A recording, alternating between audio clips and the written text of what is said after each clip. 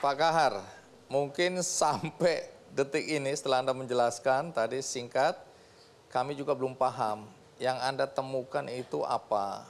Kemudian Anda membuat uh, kapal selam tanpa awak dan tadi digambarkan bagaimana beberapa kapal jenis tertentu juga anda, adalah karya Anda. Nah, supaya runut nih, Anda ceritakan dulu waktu Anda di Jepang, Anda belajar apa persisnya? Ya. Baik.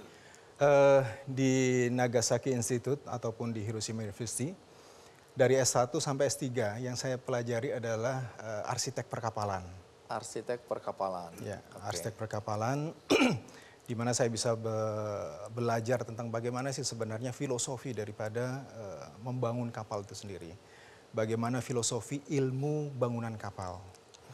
Di luar itu, saya juga punya uh, hobi yang itu saya lakukan secara otodidak, hmm. yaitu uh, programming untuk membuat software dan sebagainya.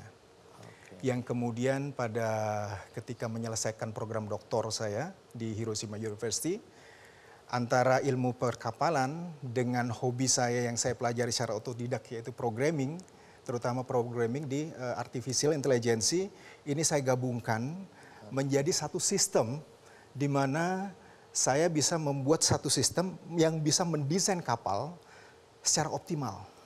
Yang tadinya tidak ada ini?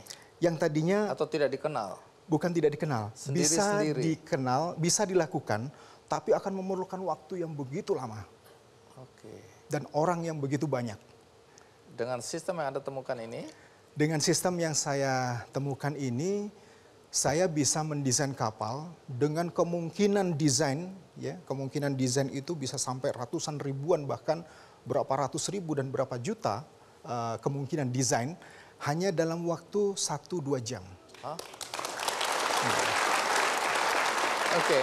bagaimana kalau anda jelaskan di layar supaya saya juga paham. Oke, okay. apa ini? Di sini ada surat. Ini sebenarnya ilustrasi dari uh, bukan surat ya, ilustrasi dari karangan saya ketika kelas 2 SD. Ini, aku mau membuat pesawat dan kapal agar orang tuaku dan guruku bisa pulang ke Sulawesi dengan gratis. Betul. Umur berapa Anda bikin ini? Ini ketika kelas 2 SD, uh, usia-usia 8 tahun saya. Usia okay. 8 tahun yang baru bisa belajar menulis dan membaca. Dan Anda sudah tahu cita-cita Anda ya, seusia itu ya? Iya, mungkin okay. karena uh, nenek moyang saya seorang pelaut. Jadi latar belakang keluarga itu juga yang membentuk mempengaruhi ya. Mempengaruhi. Oke, terus berikutnya? Ketika kembali ke Indonesia, iya. yang pertama kali saya dirikan adalah perusahaan desain kapal yang pada waktu itu kita dengan 250 galangan kapal seluruh Indonesia, sebagian besar kita tergantung dengan negara Singapura untuk desain kapal. Sehingga saya bertekad pulang ke Indonesia dan mendirikan perusahaan desain swasta yang pertama di Indonesia. Perusahaan Anda? Perusahaan saya, yang Terus? sampai sekarang masih berdiri dan uh, sudah berusia 13 tahun perusahaan dan sudah menjadi perusahaan desain kapal yang terbesar di Asia Tenggara. Nah, antara semua desain kapal yang Anda pernah buat, mana yang paling menantang atau yang paling bernilai, yang paling sulit atau yang paling bergengsi? Tantangannya adalah bagaimana kita, orang Indonesia, mampu membuat sendiri kapal selam, di mana kapal selam itu adalah satu produk alutsista yang menjadi simbol dari kecanggihan dan kemandirian teknologi uh, alutsista satu negara. Sebuah bangsa, sebuah negara. Sebuah Dan negara. Anda mulai melakukan. Dan saya memulai dengan uh, Yellow Juku, ya. Ini adalah kapal selam tanpa awak.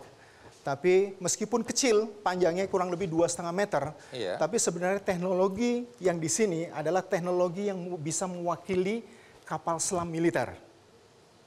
Kalau ini ketiga-tiganya dipakai untuk uh, sementara ini untuk survei, masih uji coba uji coba. Iya. Kebanyakan untuk survei dan untuk me, me, memastikan bahwa masing-masing uh, kapal selam ini mampu survive di lautan. seperti Yellow Juku ini, ya, seperti Yellow Juku yang ini. Ya. Ini adalah Sea Glider.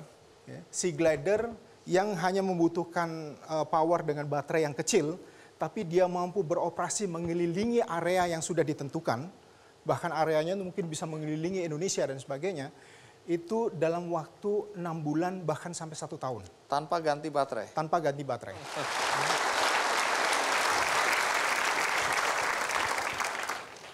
Nah, kemudian untuk yang Green Juke ini, ini adalah punya fungsi khusus bisa melakukan penyelaman hingga 2000 meter. 2000 meter. 2000 meter. Jadi kalau di tempat kita mungkin di uh, sekitar Selat Makassar ataupun di Laut Banda ya, untuk bisa mengetahui bagaimana kondisi di dasar laut dan sebagainya di mana teknologi uh, apa namanya satelit dan sebagainya sampai sekarang masih belum bisa mengeksplor potensi yang ada di laut dalam maka, maka Green Juku ini, ini mampu melakukannya. Mampu melakukannya. Oke, terus apa lagi? Nah, ketiga kapal selam tanpa awak ini, ini meskipun masing-masing mempunyai fungsi yang berbeda-beda, tapi ketika tiga-tiganya ini saya padukan dalam satu sistem, ini sebenarnya adalah pagar Nusantara. Jadi ketika lautan kita yang demikian luas sebagai negara maritim, ya, lautan kita ini sama seperti halaman halaman kita, rumah kita yang tanpa pagar. Sehingga kapal selam asing dan sebagainya yang ada di bawah permukaan air, itu semuanya bebas melalui tanpa kita ketahui ini akan mempengaruhi kemandirian kita, mempengaruhi kedaulatan kita sebagai satu Oke. negara. Jadi dengan menggabungkan tiga temuan Anda ini, apa yang terjadi? Ketika ini digabungkan, maka ini akan menjadi pagar yang menutupi perbatasan laut kita secara keseluruhan dengan teknologi yang jauh lebih murah daripada apa yang sudah dibuat oleh Jepang, Amerika, dan sebagainya. Baik. Nah, tadi kalau lihat kondisi ini, apakah kemudian ini bisa dibuat sebagai kapal selam yang kita kenal selama ini? Ya. Kapal selam besar. Betul. Pakai justru, awak. Ya, justru ketika uh, saya menyelesaikan tiga kapal selam tanpa awak ini, ini sebenarnya bagian daripada uji coba saya, ya, uji coba saya untuk menyelesaikan kapal selam militer sebagaimana di slide berikutnya. Silakan. Coba kita lihat ini. Nah ini kapal selam kapal 30 selam meter. militer. Kapal ini selam militer prototype atau masih rancangan atau sudah diproduksi? Ini masih rancangan ya, ke seluruhnya murni uh, rancangan putra-putra Indonesia. Tapi basic daripada ini ini sudah dibangun di beberapa negara. Di mana basic saja? daripada desain. Uh, beberapa negara saya pikir sudah Jepang juga memiliki, kemudian Iran dan sebagainya. Italia juga memiliki kapal yang uh, seukuran dengan ini. Ada niat memproduksi ini enggak? Kita sedang berproses karena kebetulan di sini hadir Laksamana Suryo Jati. Beliau adalah mantan kepala Satgas uh, pembangunan kapal selam yang tempo hari di uh, apa namanya viral diberitakan, di diberitakan ya. Uh, pembangunan kapal selam pertama di Indonesia, Pak, ya, yang bekerja sama dengan Korea Selatan, kapal selam Allegoro Beliau wow. pada waktu itu menjadi kepala satgas uh, untuk yang uh, kapal selam yang pertama dan kedua, Pak ya. Oke, jadi kemungkinan ini bisa diproduksi di sini sih? Sangat memungkinkan. Ini kita sedang berproses. Oh, sedang dalam proses. Sedang dalam proses. Kita sedang uh, dalam proses negosiasi dengan beberapa negara sahabat untuk mengembangkan ini bersama. Baik. Ada lagi? masih ada lima lagi paten yang uh, di dalam uh, teknologi ini, tapi karena ini alutsista dan uh, military use, sehingga saya tidak bisa banyak menceritakan Waduh. teknologinya. Kita berikan aplaus sekali lagi.